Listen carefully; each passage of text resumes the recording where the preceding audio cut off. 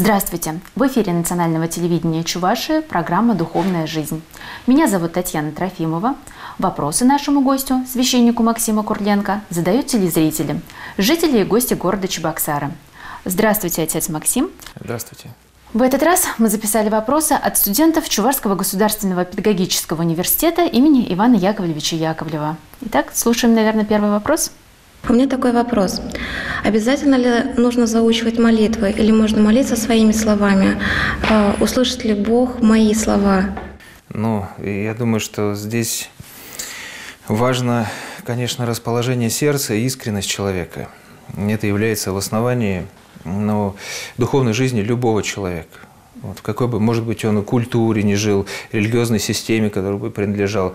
Самое главное, что человек искренне ищет Бога, он раскрывает в себе то, что в нем заложено. Потому что в каждом человеке э, заложена эта связь. Религия помогает восстановить эту связь. Даже переводится так религия, религара из двух слов, то есть восстанавливает связь. Вот. И учитывая, что это в нас уже заложено, от э, каждого из нас зависит, вот какие мы усилия приложим к тому, чтобы эта связь была восстановлена. Понимаете, вот в цветочках заложено тянуться к солнышку. Вот. И точно так же в человеке заложено тянуться к Богу.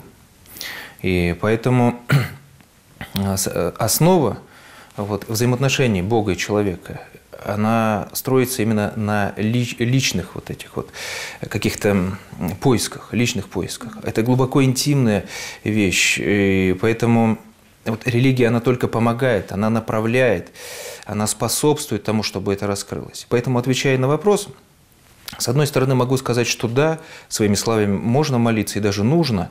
И, как мне кажется, вот э, моя личная э, жизнь, вот, так сказать, такая духовная жизнь, она начала, начиналась именно вот с такого пути.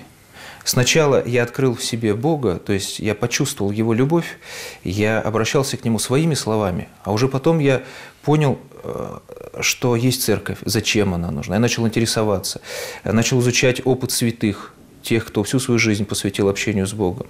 Понимаете? Вот и тогда я уже пришел в церковь. Поэтому пути к Богу, они совершенно различные. Но, понимаете, здесь в этом вопросе, э, так сказать, палка о двух концах. Здесь можно сказать, что да, э, действительно, можно и нужно молиться своими словами, а потом уже примерять на себя опыт, э, значит, святых. Но с другой стороны, если человек только будет молиться своими словами, думать о том, а зачем мне, так сказать, церковь, какие-то лишние посредники, там, институты, так сказать, духовные, религиозные, э, что, дескать, они мне и не нужны, я сам совсем справлюсь. Вот здесь он, конечно, может ошибиться и утонуть в пучине, э, так сказать, неизвестной ему, так сказать, ситуации, в которой он оказался. Понимаете, вот это очень опасно. Ведь смотрите, если, к примеру, вы решили заняться каким-то спортом – вы приходите, ну, легкой атлетикой, к примеру, да, приходите и говорите, я хочу э, вот, заниматься легкой атлетикой, она мне нравится, я хочу достичь каких-то результатов. Тренер вам говорит, что нужно тренироваться вот таким-таким-то образом, столько-то раз в неделю, там, определенные там, даже режимы питания, режимы тренировок, э, все это уже продумано, потому что люди этим занимаются достаточно давно. Кто-то посвящает этому всю свою жизнь. И вот если вы будете слушать хорошего тренера, то вы достаточно быстро преуспеете в этом. Если вы скажете, что, в принципе, вы сами занимаетесь как хотите, а я попробую сама. И вот вы сегодня побегали, завтра отдохнули, потом опять захотели столько побегали. Ну, понимаете, то есть это самодеятельность называется. И в любой совершенно области, в любой. Или вы изучаете историю, к примеру. Точно так же. Если вы сами будете заниматься самодеятельностью, не опираясь на классическое образование там, историческое, вы можете читать книжки таких псевдоисториков, как Носовский, Фоменко или прочих других, там, и этому верить. И у нас история, она очень, так сказать, разнообразная. Особенно очень... Поэтому если не иметь какого-то стержня классического образования, то можно очень серьезно заблудиться. Поэтому, как мне кажется, правильным ответом на этот вопрос будет и э, самостоятельное, вот это вот личное движение к Богу, и э, точки опоры на опыт церкви, на опыт святых. Это что касается молитвы. Да. А вот действительно, я даже сама слышала, многие молодые люди считают, что веры в сердце им достаточно, и не обязательно соблюдать какие-то определенные правила. Что вот вы по этому поводу можете сказать юношам и девушкам? Ну, это из той же серии. С той же серии. Очень много, я сам встречал многих людей. Часто это бывает или от незнания, что человек не сталкивался с сферой духовной жизни, не сталкивался с опытом тех людей, которые всю свою жизнь посвящали именно духовной жизни. А второе, это бывает от гордости. Потому что человек, он по своей гордости не хочет, чтобы ему кто-то что-то указывал. Куда идти, зачем, я сам совсем разберусь.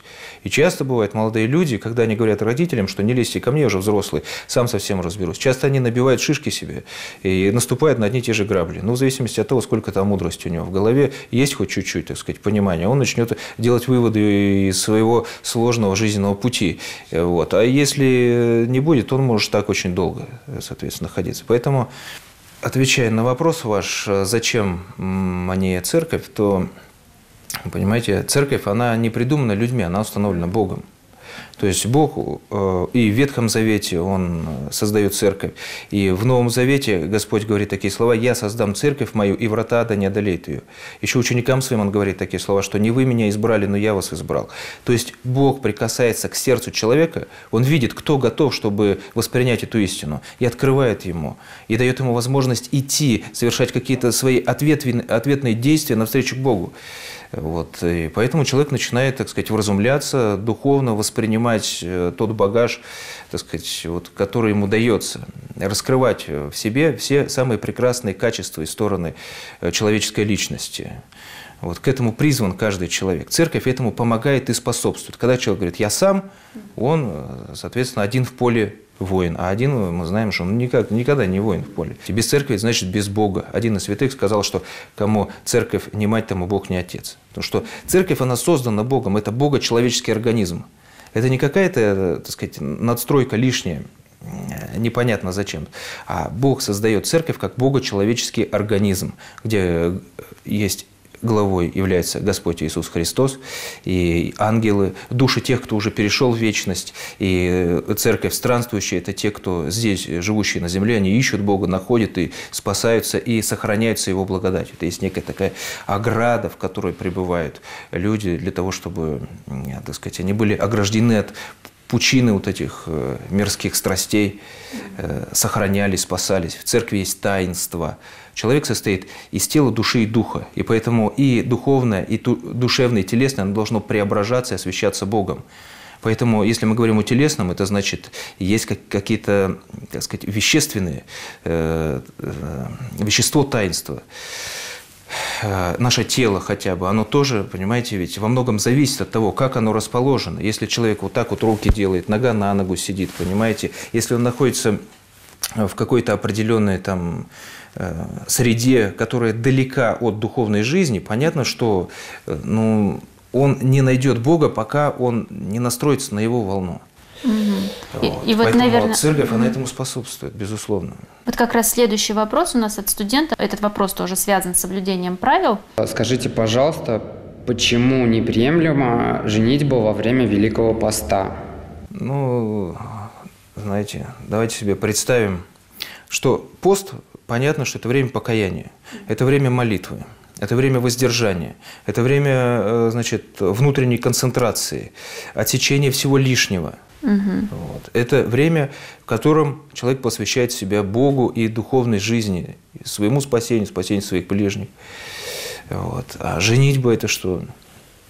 Это, конечно, время радости, пир, э, так образно, если себе представить, брачный пир, это время ликования, Потом женитьба подразумевает медовый месяц, а у нас пост идет, правильно? Ну вот совершенно поэтому. Ну это то же самое, что сидеть в ночном клубе с бутылкой пива и говорить, Господи, помилуй. Вот. Человек приходит отдыхать, развлекаться, и с другой стороны он хочет что-то там, соответственно, с Богом контакт наладить. Mm-hmm. Вот.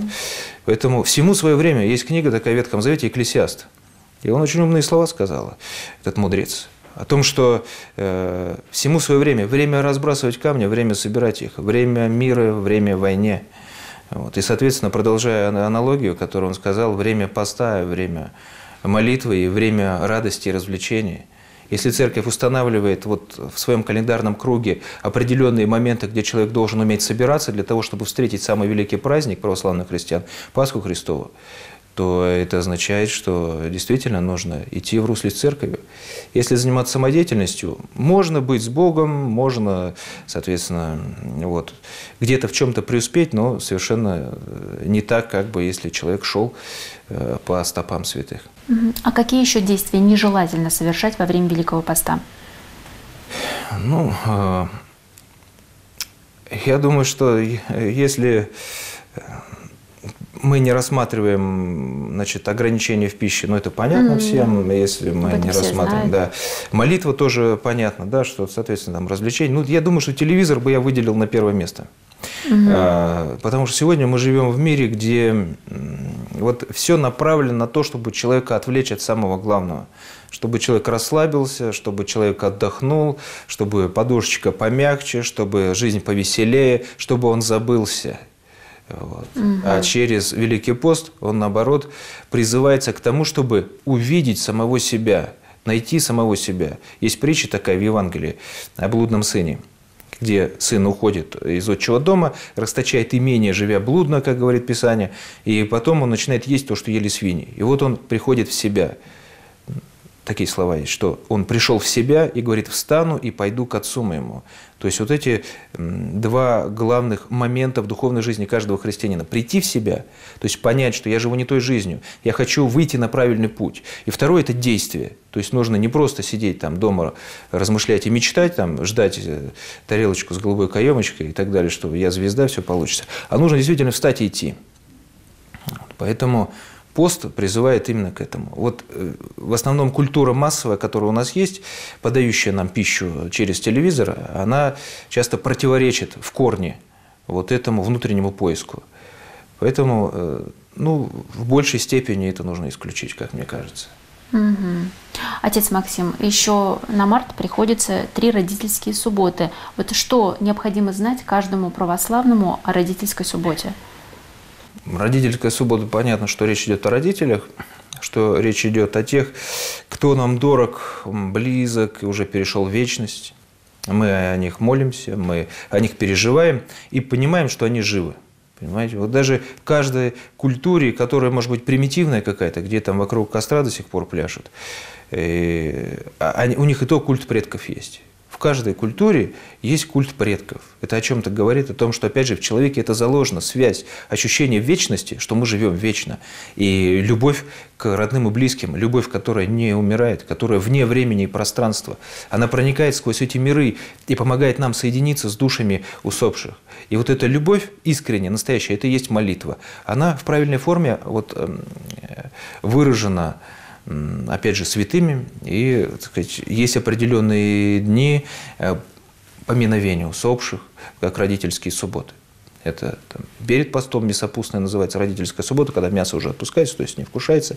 Это после Пасхи радоница, когда радуются не только живущие на земле, но и на небе.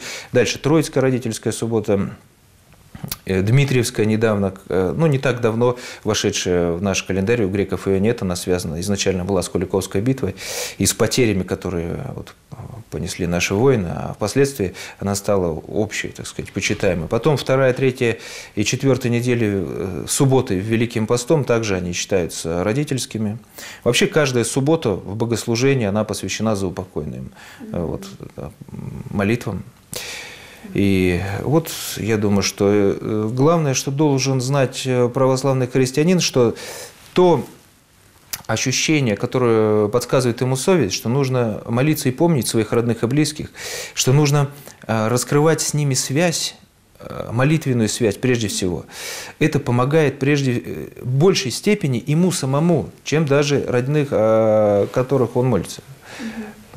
Это учит молиться нас самих, это учит поддерживать в нас вот это вот а, огонь любви к ближним, к родным и близким, учит нас сосредотачиваться на главном, учит нас быть милосердными, тратить свое время, усилия духовные.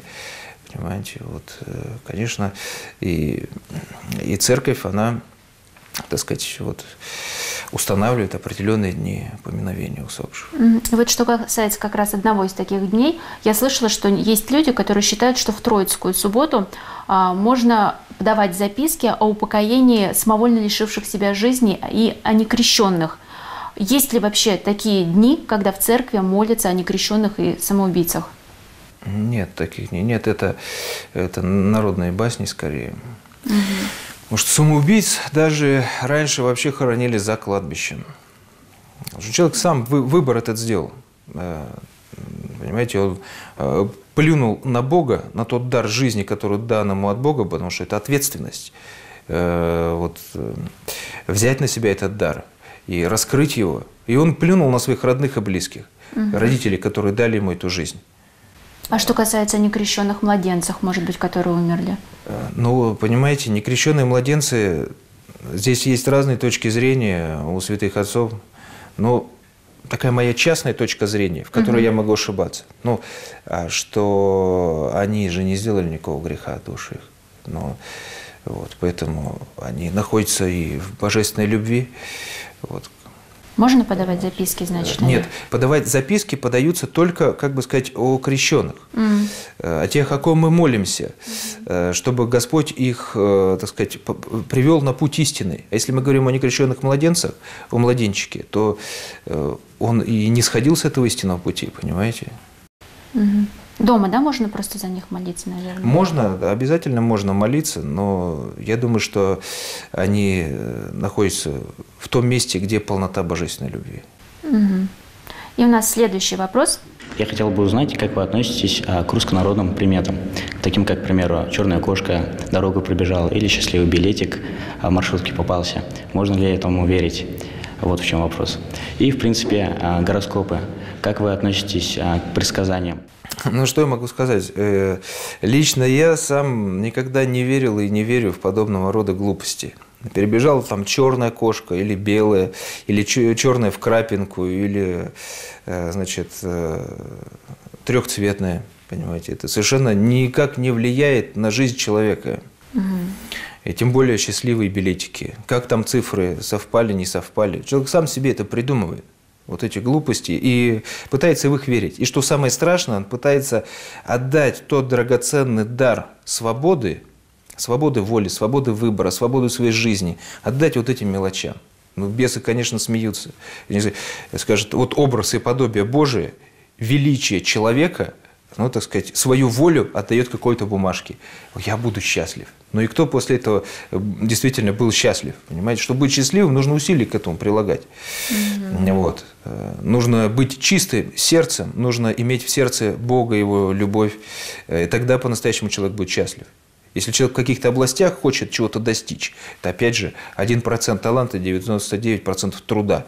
И это дает человеку ощущение полноты и счастья. Но никак не какой-то билетик там, как цифры совпали, соответственно.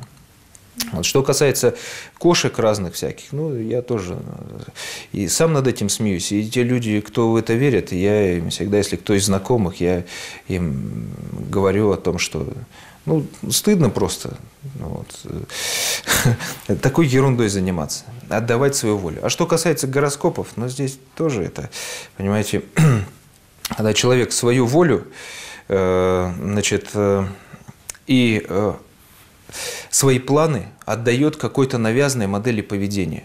Вот он услышал по радио или еще где-то прочитал в газетенке желтой, там, что сегодня там, львам или там, козерогам или еще кому-то нельзя там, из дома выходить или что-то, делами заниматься. И он идет, слушается, значит, не занимается, думает, что ему вот этого повезет потом. Понимаете? Кто их составляет?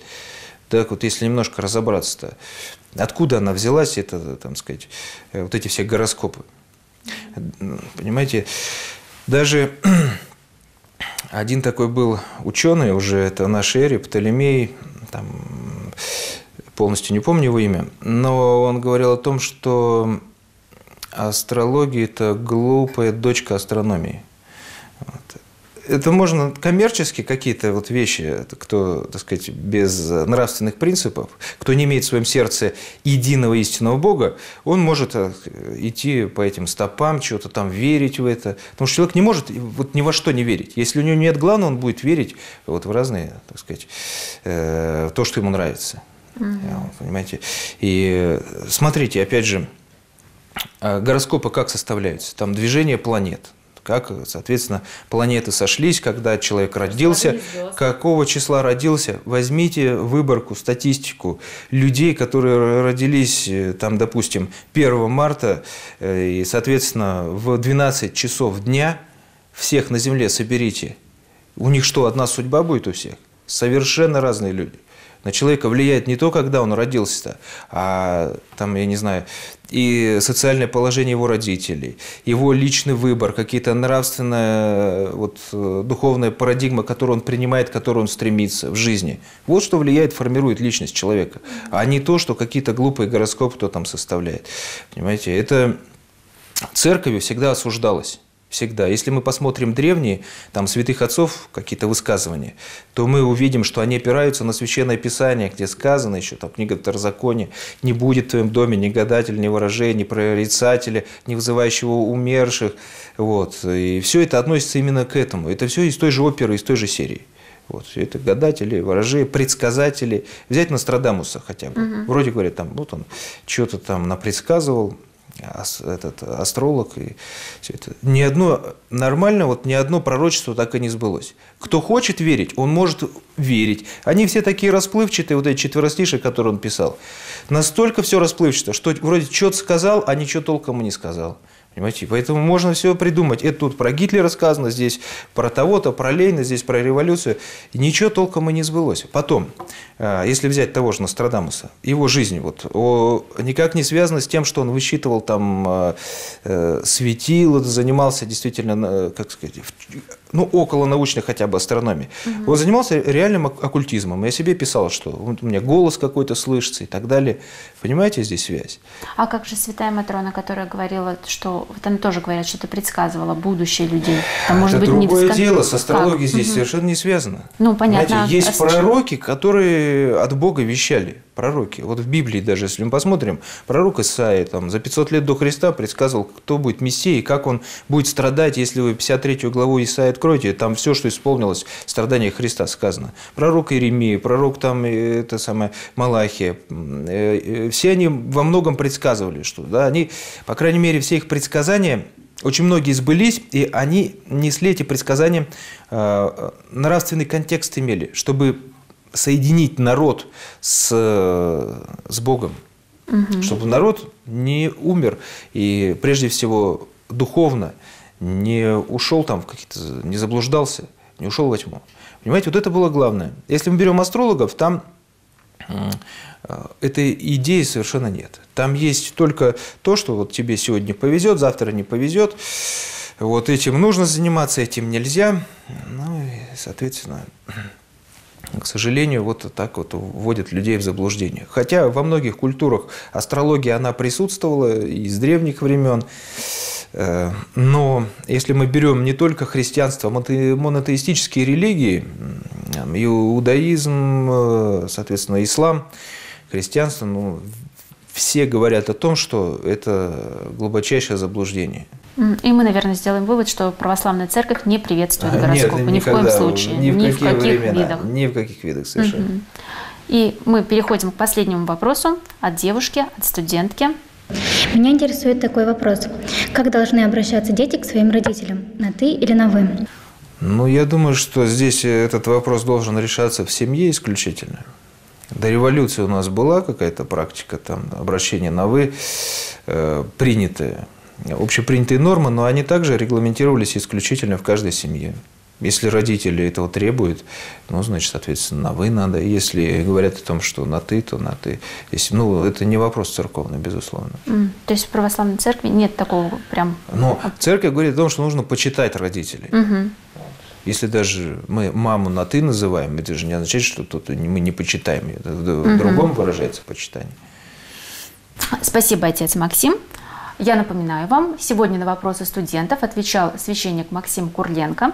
Надеюсь, что все, кто нас смотрел, узнали для себя что-то интересное и полезное. На этом мы с вами прощаемся. До новых встреч. Храни вас Господь.